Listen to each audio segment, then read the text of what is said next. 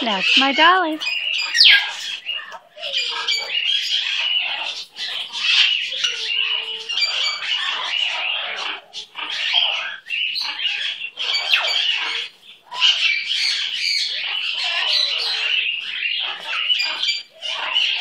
What a good girl, Dolly.